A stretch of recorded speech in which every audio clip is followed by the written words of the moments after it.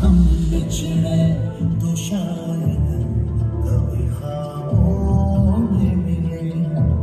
अब के हम बिछड़े तो शायद कभी खामों में मिले। जिस तरह सूखे हुए किताब